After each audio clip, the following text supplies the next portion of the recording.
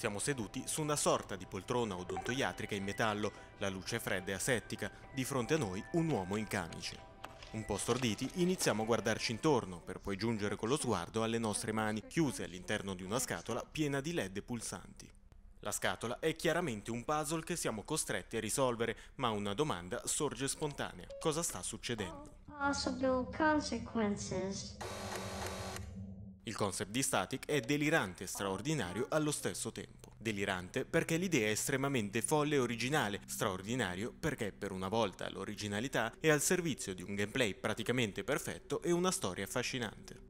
Non a caso, gli svedesi di Tarsier Studio si sono chiaramente ispirati all'estetica e allo storytelling tipico della Valve dei tempi d'oro, omaggio che si fa palese con l'unico personaggio con il quale andremo a interagire. Il dottore che ci guiderà ed esaminerà attraverso i 10 puzzle che compongono la campagna, nonostante il volto nascosto, assomiglia infatti fortemente al dottor Kleiner di Half-Life, somiglianza richiamata anche dal design degli ambienti e da un tipo di black humor straniante azzeccatissimo.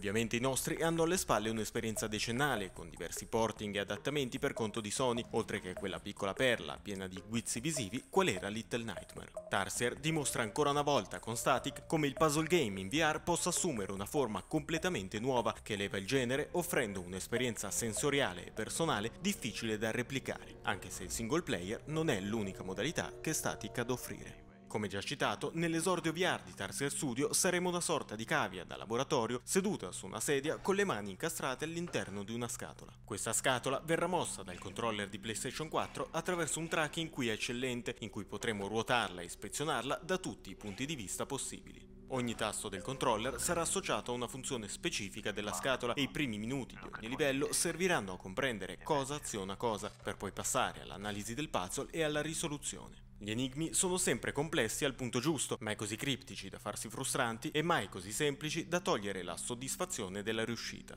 Nonostante non siano impossibili da risolvere, perderemo decine e decine di minuti per comprendere i meccanismi che stanno dietro alle varie scatole. Questo non perché siano mal gestite, ma perché richiedono una comprensione graduale dell'ambiente e dei meccanismi che con il giusto spirito d'osservazione ci porteranno inevitabilmente alla risoluzione. Non mancano oltretutto livelli ponte tra le sezioni principali che ci porteranno ad approfondire per quanto possibile la storia e scandiranno il ritmo di gioco. Queste ultime saranno divise tra inquietanti colloqui dal gusto surrealista e un puzzle graduale che si legherà all'ultimo livello, fino a un finale che arriverà dopo circa 3-4 ore di gioco. Visivamente Static rende straordinariamente bene. Questo perché le geometrie semplici ma accattivanti dei quadri e il campo visivo ridotto riescono a spremere al limite la risoluzione in game, rendendo il tutto decisamente piacevole e definito. Grazie anche all'ottima gestione del tracking, tra l'altro, Static riesce a regalare un'esperienza prettamente tecnica assimilabile a quella dei visori di fascia più alta, come HTC Vive e Oculus Rift.